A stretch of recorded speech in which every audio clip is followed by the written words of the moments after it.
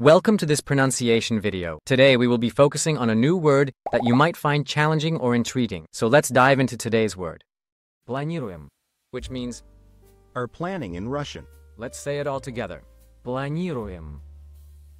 Планируем. Планируем. One more time. Планируем. Планируем. Планируем. Thank you for joining us on this adventure in pronunciation. Remember, language is a journey, not a destination. Keep exploring, experimenting, and expanding your linguistic horizons. We'll see you next time.